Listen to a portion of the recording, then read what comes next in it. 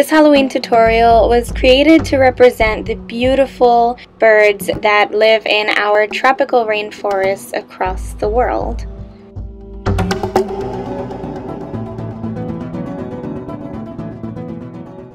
To start out, I'm not naked, I'm wearing a shirt, and I'm just grabbing a headband to remove any hair from my face. And of course, I'm starting out with clean skin, and I'm taking my Ben Nye cream color palette, and I'm first picking up this blue color.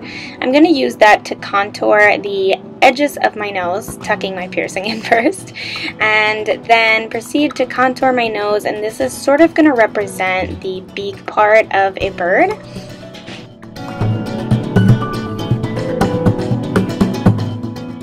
I also decided to drag it up into my brows and sort of flick out um, little shapes of that blue color to sort of represent the imitation of feathers. I'm now taking this yellow color on another flat shader brush and I'm going to fill in the center of my nose with that, sort of blending it in with the blue color and then filling that in all the way up to my forehead. I decided to just fill in my eyebrows with that blue color entirely as well. Then for the lids, I am going to use my NYX Jumbo Pencil in Milk, and I'm just going to fill my lids in with that and flick it out in a very dragged out wing motion. And I'm going to bring it down also a little to the sides of my nose. And then I'm going to just blend it out with a brush and then further blend it out with my finger to make sure that it's really just pushed into my skin. I'm now taking this NYX Primal Colors shadow in Hot Pink, and I'm taking that on a fluffy blending brush, and I'm just going to put that all throughout my crease and really wing it out past the edge of my eyebrow.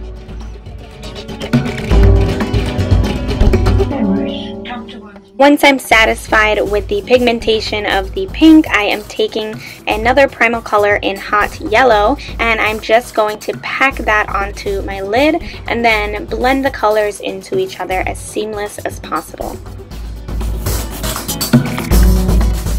Using a very thin defining brush, I'm picking up the black cream color and I'm going to map out a sort of winged eye shape and I'm focusing the wing much more on the bottom parts of my eyes. I'm just going to clean that up as best as I can and make them look most alike as possible. Then I'm taking some concealer just to cover up any blemishes on my skin or to have an even skin tone with this look. Now that that's done, I am going to take that same blue color and I'm just filling in the outermost part of that sort of winged eye. And I just want to make it as clean as possible. Now I'm taking another NYX Primal Color in Hot Yellow and I'm picking that up on a flat shader brush and I'm just going to fill in whatever part is left from that under eye sort of wing creation. Now I am going to take a very thin brush and some red face paint and I am going to create sort of a line just to be a barrier between the blue and the yellow colors and I think that red just makes it look really cool. Now I'm going to take this hot pink primal color and a small stippling brush from e.l.f. and I'm going to contour my whole face with that. I wanted to bring in some pink color because I feel like it just brings more life to this look. So I am contouring all over pretty much my entire face. I'm doing my cheekbones, under my chin, my neck, and my forehead. Here I'm picking up this blue color again and I'm just going to make my sort of brow area a lot more dramatic and bird-like. I'm just flicking some streaks up above my brow towards my forehead and hairline and I just want to make it look super dramatic. Now for some dimension, I am taking a very small detailer brush and the white face cream and I'm going to create little tiny streaks. I'm using a very light hand to make it look like feathers as much as possible possible. To focus on the nose a bit, I'm just taking that same white face paint and I'm going right outside the blue line and just painting the rest of my nose white.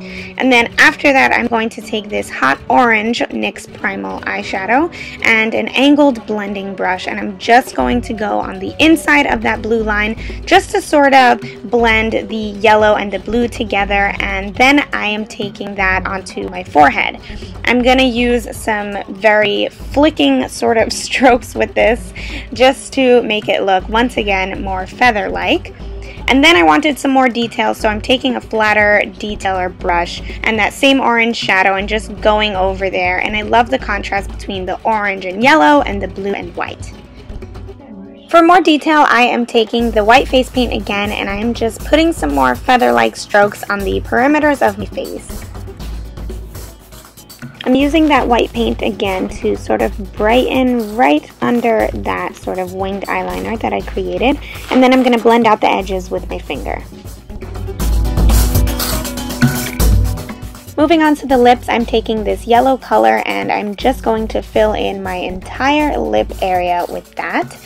Once I'm done filling that in with the yellow, I'm going to take um, a Primal hot orange color and I'm just taking a shader brush and blending that into the center of my lip to sort of create this ombre sunset inspired lip.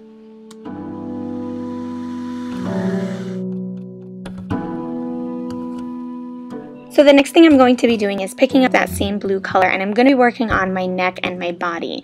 I am dragging this blue line right next to where I contoured with that pink eyeshadow and I am just flicking out feather looking things on my entire body and neck. I just really want it to look like I'm covered in feathers.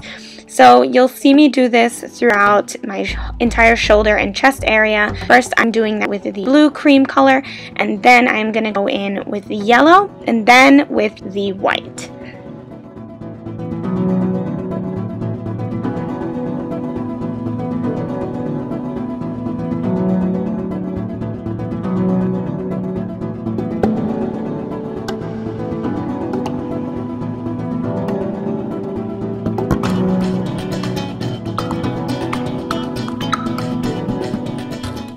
Complete this look and really make it what it is, I'm taking my feather eyelashes from Eyes Lips Face that I got online and I am just applying those and that just really completes the look. So I really hope you guys enjoyed this look. Don't forget to get super creative because it's Halloween. Thank you so much for watching. Please don't forget to subscribe and I will see you in my next one. Bye!